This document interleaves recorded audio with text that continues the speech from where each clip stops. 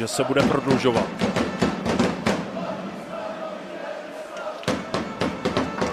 Uh, tak to je gol, který rozhodně si Jan Mičan za rámeček nedá.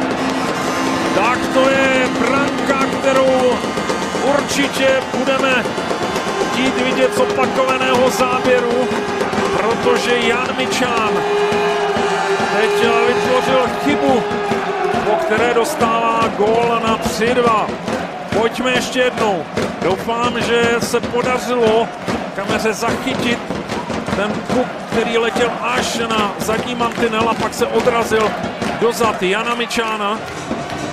A rázem je to v tuto chvíli 3-2 pro domácí barvy.